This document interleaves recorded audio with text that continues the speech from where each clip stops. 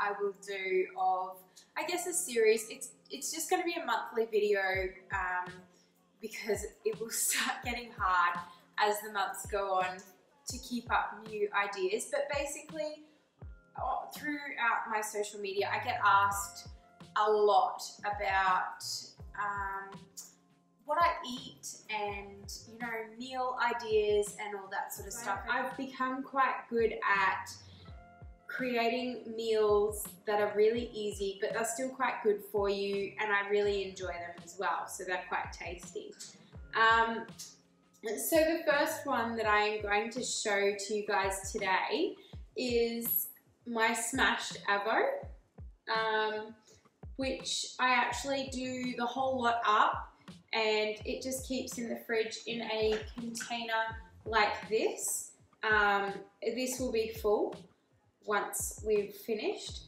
Um, and it's something that, like I said, it will keep for up to about a week, maybe even a little bit more. Um, and the avo doesn't go brown, it stays nice and green, it looks perfect. Every time you put it on a cracker, it looks great. So, uh, and everyone who's tried my smashed avo have been, oh my gosh, that is the best smashed avo I've ever tried. So that's why I decided that maybe I should share this with you guys because like I said, it takes 10 minutes, maybe not even to make it.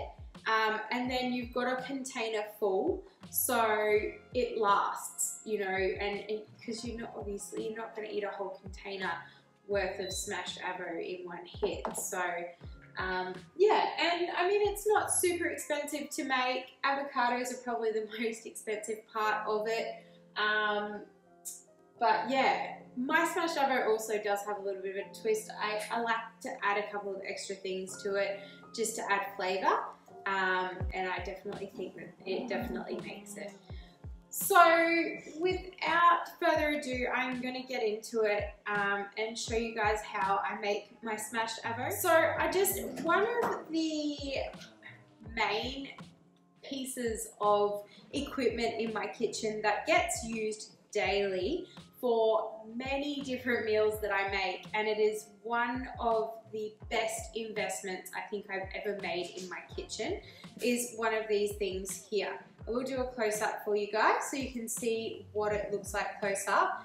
But basically, basically this is a, what I call, and I'm pretty sure it is called, a stick mixer.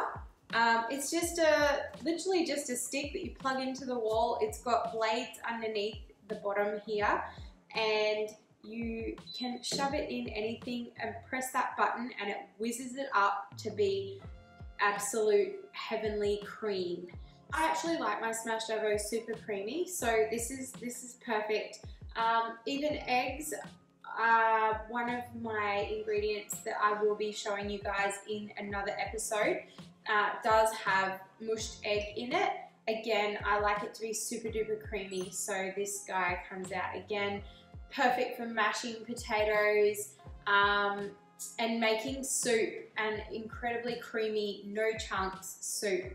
Perfect. Uh, this has been my absolute lifesaver. You know, you can mush it yourself. It does take time to do that. If you don't have time, if time is of the essence and it's something that you just don't have, this thing here will save you a good five or 10 minutes uh, in some cases.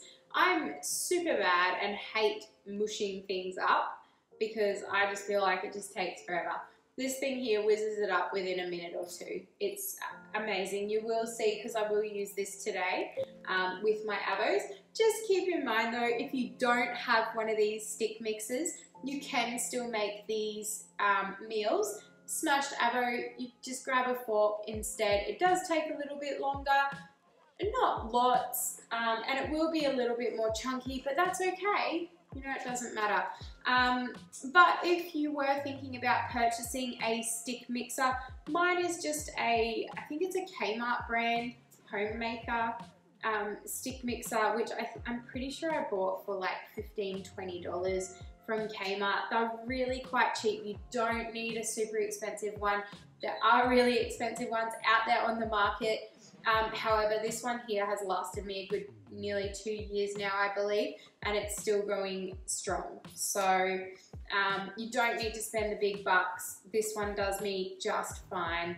Um, but I absolutely love this thing. It's just been incredible for me.